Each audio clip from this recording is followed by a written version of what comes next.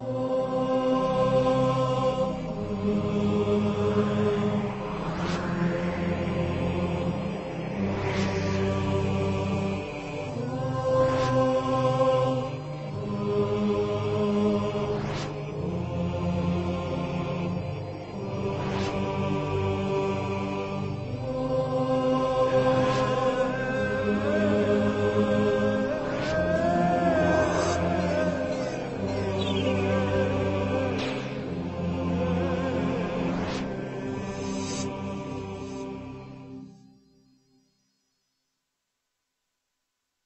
Bismillah ar-Rahman ar-Rahim. In the name of Allah, the Beneficent, the Merciful, I praise Allah, the Creator of the heavens and the earth, and I send peace and blessings to all of the prophets from the beginning of time.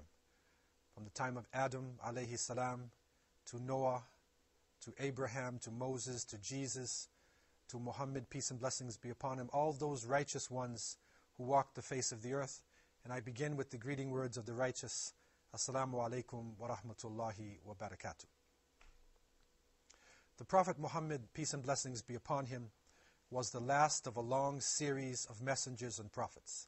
They came to every part of the world.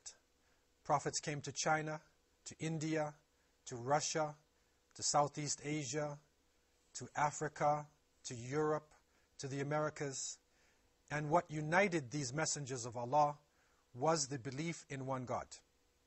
But the final Prophet Muhammad, peace and blessings be upon him, not only confirmed Tawheed, he not only confirmed the unity of belief, but he also confirmed or developed the unity of people themselves. And so amongst his followers were people not only from the Arabian Peninsula, but from Persia, from Europe, from Ethiopia, from all parts of the known world. Prophet Muhammad, peace and blessings be upon him, dealt with his followers with love, regardless of their color, regardless of the language that they spoke. Amongst his illustrious companions, there are 25 Sahaba who are listed to be from Al-Habasha, from Abyssinia. They were the best of the Sahaba. They had come from their countries, they had struggled, they were striving with the other believers. And there are a few of them who are very prominent in the annals of history. Umm Ayman, radiallahu anha. It is reported by the books of Sirah, the prophetic biography, that she was the dry nurse of the Prophet, peace be upon him, and when his mother passed away, she was the one who brought him back to Mecca. She remained an important person to him all of his life. Even later in Medina, when they mentioned that Umm Ayman was in, was in his presence, the Prophet, peace and blessings be upon him, although he was the last messenger and also a mighty ruler, he would stand and he would greet her with love. For amongst the Ethiopian companions of the Prophet was also Sayyidina Bilal radiallahu an. And he is known as the caller to prayer. He is known as the one who suffered severely during the Meccan period. And when he was being tortured, he would cry, Ahad, Ahad, one. He confirmed and maintained his belief in the one God.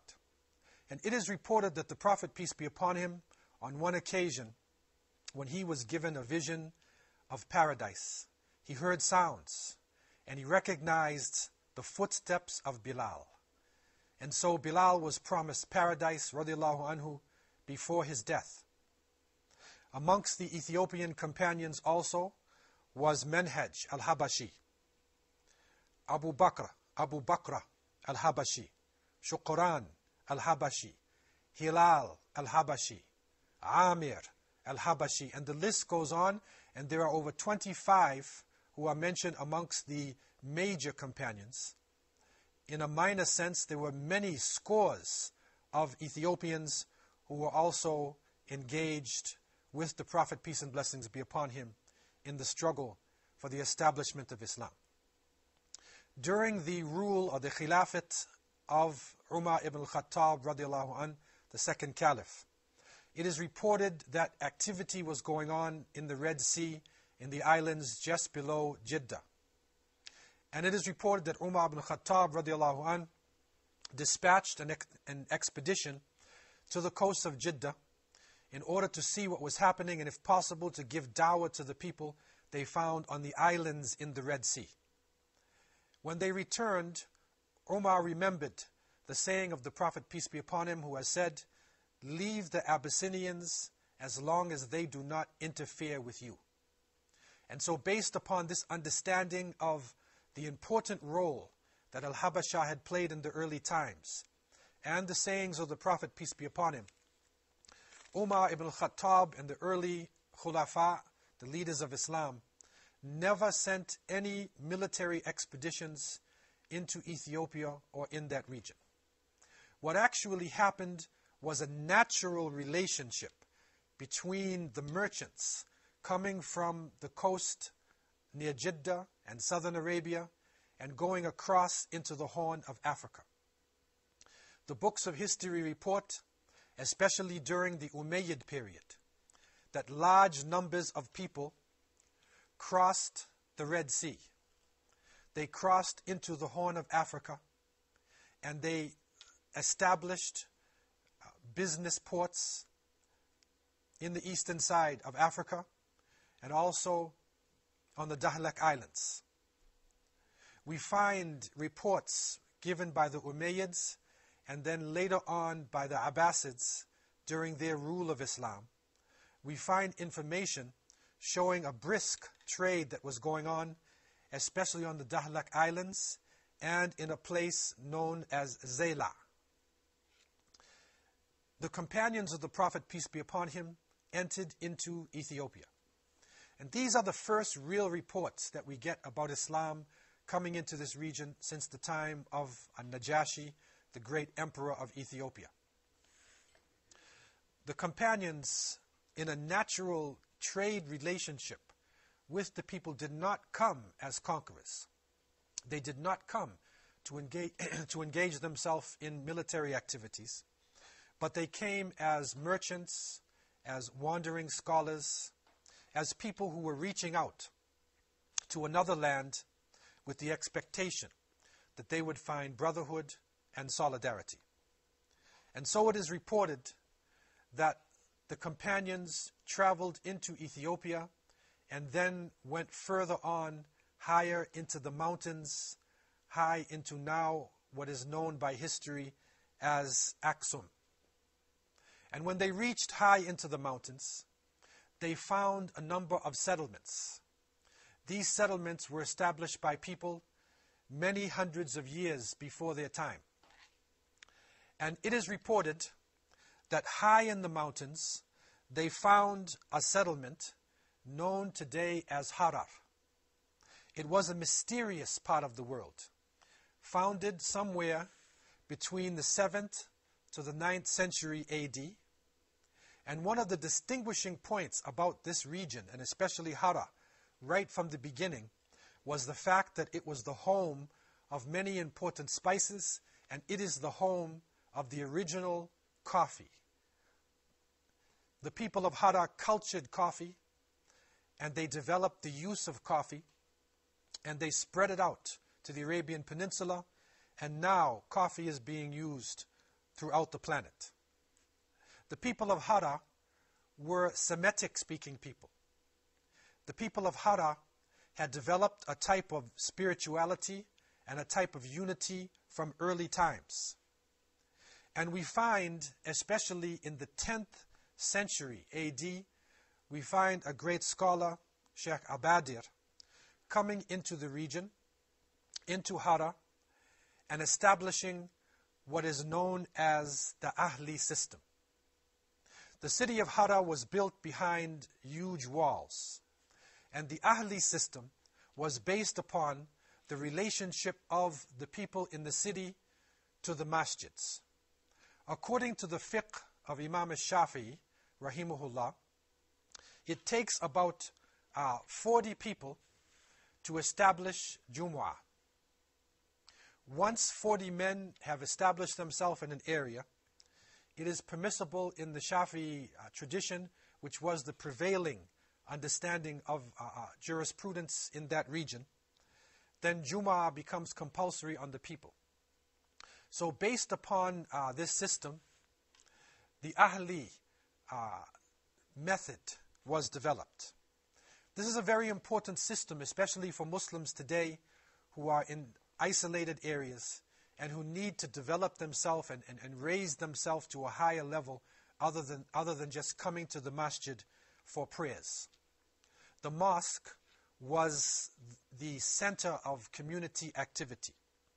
The mosque was not only a spiritual place, but it was also a place where political decisions could be made. In the Ahli system, for every 40 families, there was an imam and a masjid. And so in Hara, what developed is a complicated uh, web of masajid, of masjids, with an imam as, as the responsible person. And this leader or amir or imam in that area was responsible not only to establish salat and to educate the children in the Quran and Islamic sciences, but he was also responsible for the welfare of the people who were living in the vicinity of that masjid. Hara, because of this system, uh, takes on a special meaning in Islamic history. Some historians even look to Hara and, and they give us the information that in this mysterious walled city, that there are more masjids per square meter than anywhere else in the face on, on the face of the planet Earth. A masjid every time you turn. Every section of the city is a place to remember Allah subhanahu wa ta'ala. And so the people of Hara developed themselves 82 masjids within a circumference of 3,348 meters. These masjids, these houses of worship, became the hubs of activity. And because of that, the very culture of Hara itself took on uh, a very high spiritual level. The people of Hara were oriented to Islamic sciences, and they developed a powerful uh, grasp of the Arabic language and the book of Allah subhanahu wa ta'ala. And so Hara was well known for this system. Within uh, this Ahli system as well was a political concept that each Amir or each Imam who represented his people would take the opinions of his people or the problems that they expressed to a Majlis Shura, and that formed the government of the whole of Hara, and there was an emir over the government. So they developed a type of Islamic system, a mini Islamic state within the walls of this city in Ethiopia. And there they were able to come together to know each other not only as people who prayed, but also to know the subtleties of each other's families to know the needs and the wants, and to always pray for each other in times of difficulty. Let us take a break and come back after a few moments to discuss more about the mysterious city of Harar.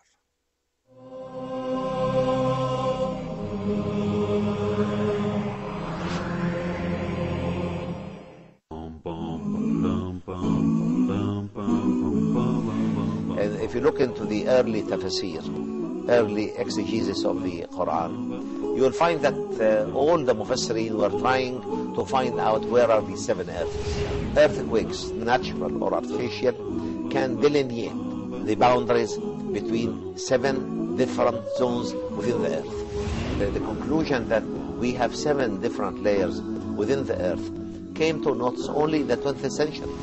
The true believer would prostrate down in obedience to Allah subhanahu wa ta'ala the blessings of that prostration will reach the seventh earth.